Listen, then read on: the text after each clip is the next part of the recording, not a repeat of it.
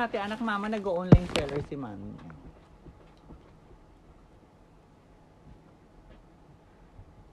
Pasensya na, nakikita ba naman?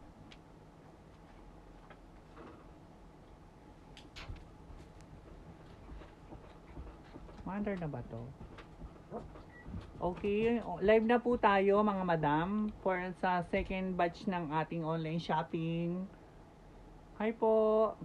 Thank you for watching. Ang bilis naman. 300 viewers pa agad.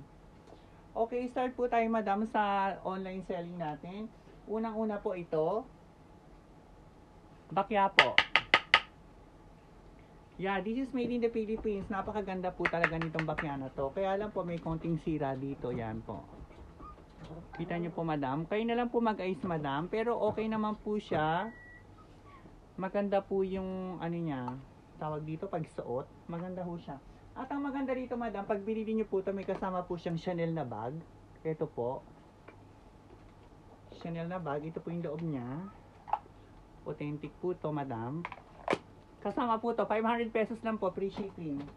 Mabilisan tayo madam ha, kasi marami tayong binibenta ngayon. Okay, sinusunod po namin tinda yung asa na ba yun? Asa na ba?